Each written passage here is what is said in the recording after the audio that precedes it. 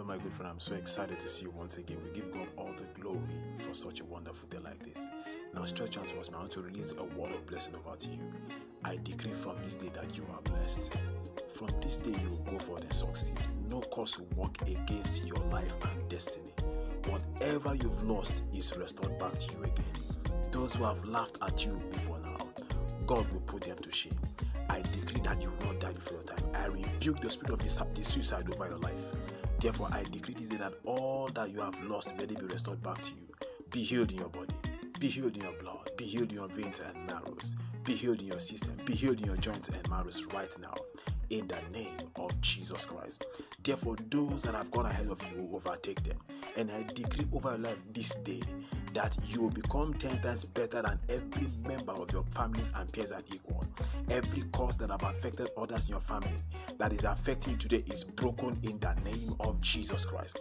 Every power of limitation that have limited others in your family that want to limit you today is broken and destroyed in the name of Jesus Christ.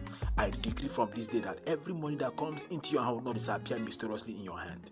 From this day, money will jam money in your hands in the name of Jesus Christ. I declare and I decree to you, young lady, in no distant time from now, this same year, you are getting married in the name of Jesus. And I speak to you, young man, also in the name of Jesus Christ. Every power that have limited others from getting married at early stage, that have hindered you from getting married in your family, is broken right now. And I decree also that you shall get married. Therefore, young man, I declare over your life that in no distant time you shall be promoted in your place of work. I see promotion locating you. And therefore, I speak to you, young lady, also you shall be promoted. And therefore, in the name of Jesus, I decree over your life from this day that everything that have been stolen from you, both spiritually and physically, is restored back to you now. In the name of Jesus Christ, I decree from this day that money will jam money in your hands. Therefore, that project will be completed. That project you have started will be completed in the name of Jesus Christ. You will not end up as a beggar. Every garment of delay, every garment of disappointment upon your life, I command that garment to catch fire right now. And I release the garment of favor to be placed upon your life. From this day, every aroma of hatred that have been placed upon you that may people to hate you today is nullified by the blood of Jesus. And I decree from this day that everywhere you go to, you shall be favored from this moment. Therefore, I speak to you, young lady, that in nine months' time, you will carry your baby.